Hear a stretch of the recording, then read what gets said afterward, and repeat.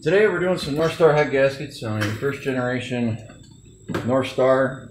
Uh, it's a this particular block is a 99 VIN Y, and it does have the fine threaded head bolts. It's the M11 by 1.5 thread pitch. And today I'm drilling out the existing OEM aluminum threads in the block and installing the Timesert M11 by 1.5 by 30 mil insert.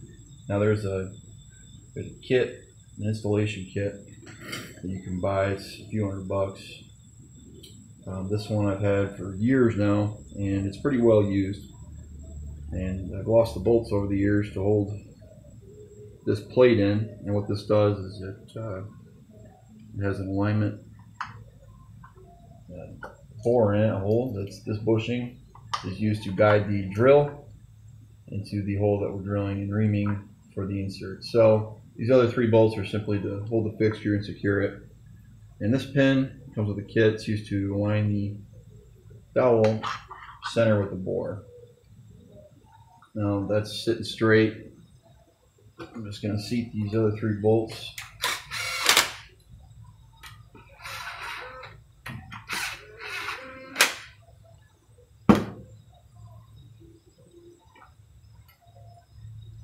And this kit's kind of worn out just from use over the years and sometimes I just like to make a visual check make sure it's centered before I ream it out. And sometimes I've even seen a few blocks that the existing threads are so worn and from the corrosion and coolant that uh, I'll go to seat these bolts and they just sit there and spin because all the threads are gone. So this is the reamer that comes with the kit and it's it has two two widths to this reamer bit, and this first first wider width is to widen the existing bore such that we can we can work down there and install the Timesert. And the second smaller relief is it's uh, it's used to widen. Well, first take out any existing threads and make it wide enough such that we can tap the threads to fit our uh, 30 millimeter Timesert in. So you as you can see, that's relatively about uh, you know about the same depth. So just to keep this tool working well, we like to oil it up. I just use a little bit of engine oil, ATF. You use cutting oil. Oil that comes in the kit. It's good for like two bolts, but um, maybe a little bit down in the hole. And we're going to drill it out.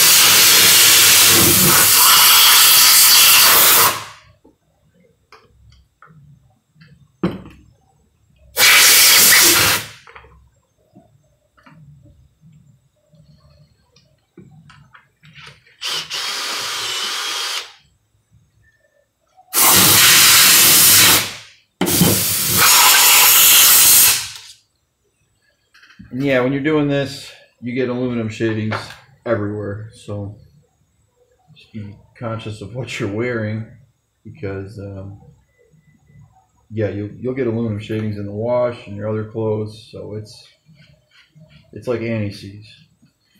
Anyways, uh, so now we have that reamed out. Um, actually, I want to make a note here.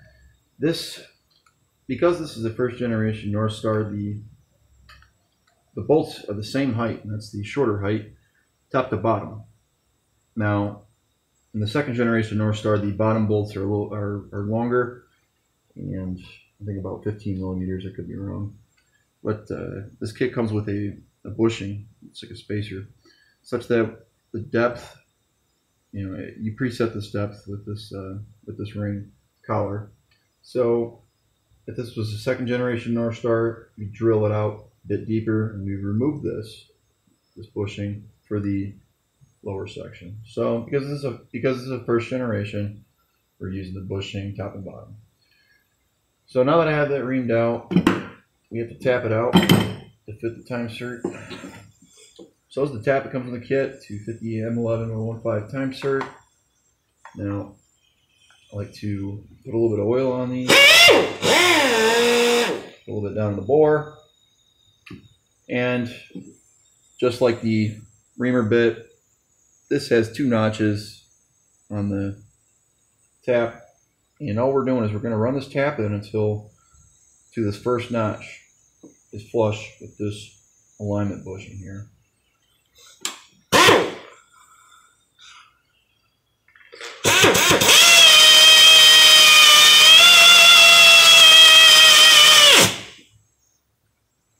And as it's becoming flush, you can feel the tap hit the bottom of the bore. And we don't want to go any further than that. We could risk cracking the block. So.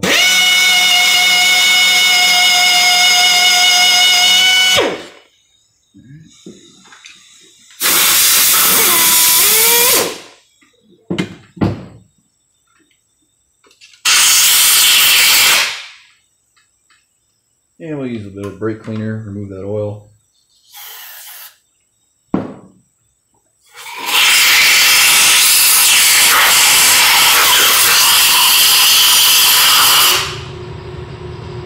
Now that's one hole drilled, ready for a Timesert. So I'm going to use an installation tool. Now the kit comes with one and it's basically a threaded bolt without the head. Now mine's broke over the years so what I did last year is I just cut a bolt, an old head bolt, and just notched it so it could fit the drill chuck. And using the threads just to install it, it works great. So just use a little bit of oil on these threads just to coat the inner threads on the Timesert so that the installer unthreads very easily. Just want to make sure it's free of any kind of aluminum shavings, debris, dirt. We're going to coat the outer threads of this insert with high strength Loctite, use Permatex. This is a Pratt-Lock 1020 grade uh, high strength Loctite. Um, this, this in conjunction with the locking mechanism on these inserts is going to lock this insert into the block. Now, I don't know if you can tell by look by this angle, but uh, the bottom portion on the inner threads of the insert are unfinished. And why that's because when you run this insert in, the installer is going to self self thread the last you know thread on the inside, and then what that does is it locks the insert into the block, and you're going to hear it, uh, like a motor pitch change on my drill when I'm running this in, and it's it's very important that you're in tune with that. Now you're going to hear three pitches total. And the first pitch, when I'm running this tap in, is going to be the installer threading itself into this insert. And you're going to hear a pitch change, and that's going to be the insert threading itself into the block.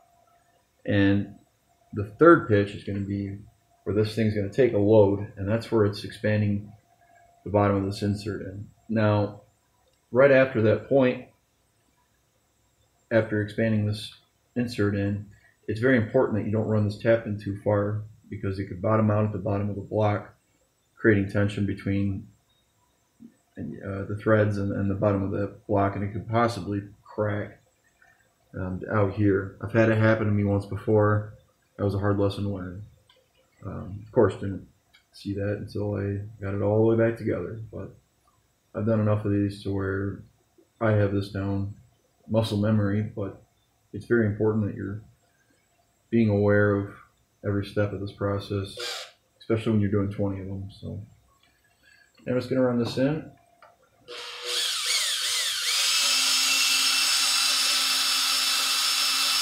First change.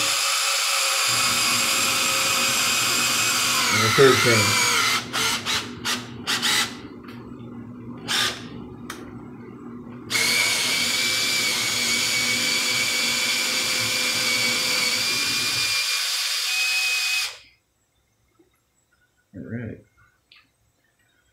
So then what I'll do is I'll take uh, one of these bolts here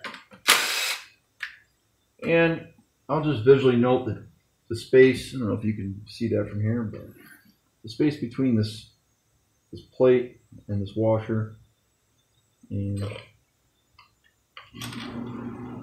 it's on the first thread. You just want to note and just make sure they're relatively the same. And what's that's for is to verify that the insert didn't back out when you were, were removing the installer.